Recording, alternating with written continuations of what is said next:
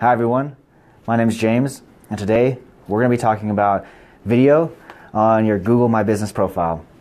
Alright, so back in August, Google started letting local guides uh, submit video to businesses, and that video was, you know, uh, reviews or, or it was videos of the building itself, maybe the interior or something.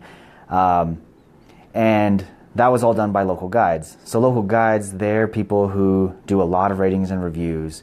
Um, they they submit photos, they answer questions, um, and now also adding video.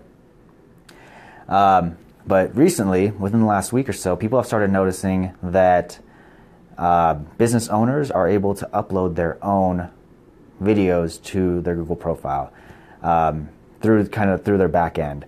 So that has the potential to be really amazing, a really amazing new touch point for you and your customers by adding your own um, videos of things that maybe local guides didn't have access to. You know, maybe your own perspective on your company or or showing your customers your culture uh, or anything like that. And so this is something, like I said, it's something that's still being tested.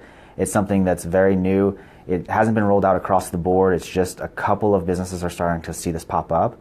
So we're going to be watching that. We're going to be connecting with our clients and helping them out to best, you know, best utilize this new feature uh, on Google.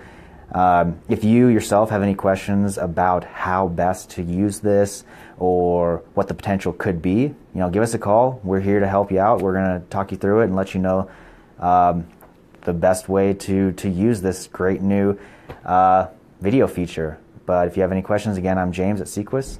Thanks for watching.